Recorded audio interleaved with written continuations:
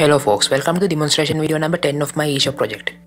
So folks, today I'm going to explain about the basic design of user profile page of our eShop web application. So without further ado, let's go to web browser to see our design.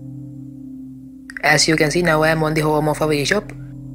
So to access the user profile page we have to use this drop down menu to the right side of our header section.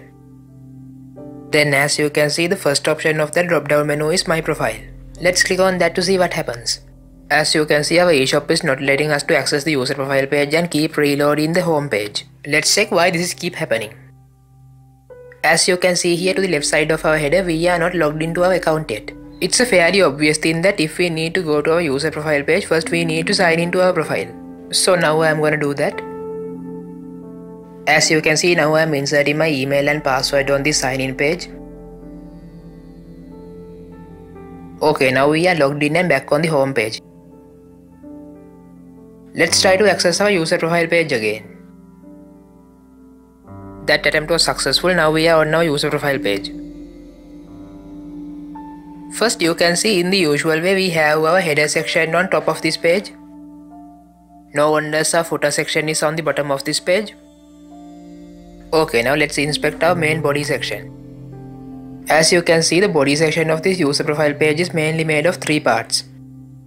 This first part is here to show our user profile picture, then our user's first name, then the last name, then the email address, then here's the option to update the user profile picture. When clicking on this button, it opens Explorer to search for images to update. Then the second part is here to see and change the details of the users. As you can see the title of that section says Profile Settings. A user can edit the details on these fields along the way if they wants to. As you can see here, this is our first name field and then this is our last name field. Then this is our mobile number field, then this is our email address field. As you can see here, this is our account password field. If we want to see our password, we can use this button with eye icon to view that. As you can see when I'm clicking on the show password button, it changes its icons. Then this is our user's registered date field. Then this field is showing first part of the user's address. Then this part is showing second part of the user's address. Then there are three drop-down menus to select province, district and city respectively. Then here's our postal code field. Then this field is showing selected gender of the user. Then as you can see four of these fields are grayed. These are grayed because we are not letting users to change them from here especially this email field right here. Then finally on the bottom you can see our update profile button here. Then as you can see the third part of our user profile's body section is reserved for showing advertisements. Okay now let's get into the coding part of things. So I am going to the VS Code now. First we need to check out our header part.php file. As you can see here inside this header part.php file, I am linking my user profile.php file to the my profile option of the drop down menu. Okay, now let's go to our user profile.php file. To keep our user profiles design running in the state it should be, I am linking some other files inside this user profile.php file. First inside of our head tags I am linking bootstrap.css, then bootstrap-icons.css, then bootstrap.min.css, then fontawesome.min.css. Then I am linking our own style.css file too. Then by the bottom of our body tags I am linking bootstrap bundle.js file and our own script.js file.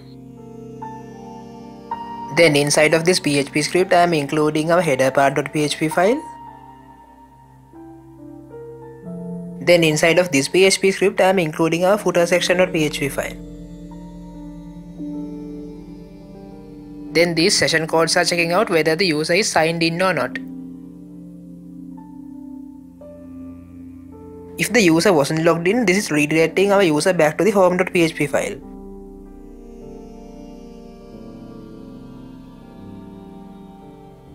When our user was logged in, this search query is searching our databases for the information of that user.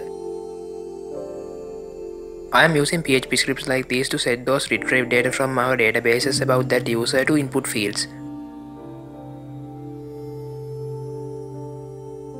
I am adding this read-only attribute to the fields that we are not letting users to change. Okay, now let's finally see how to create that show account password button related things. From this pan, I am calling a JavaScript function as show password of the user profile page. As you can see, our account password field's input type is currently set to password.